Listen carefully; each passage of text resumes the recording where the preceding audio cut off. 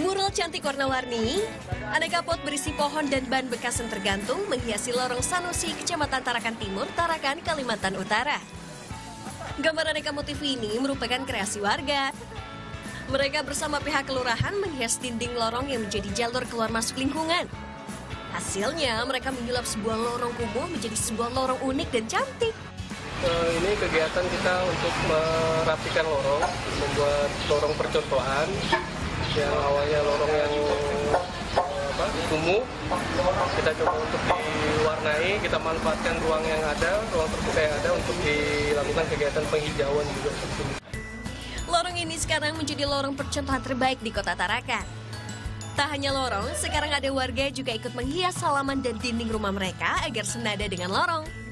Mereka juga menanam aneka tanaman obat keluarga. Ya. Alhamdulillah dukungan pemerintah lebih bagus.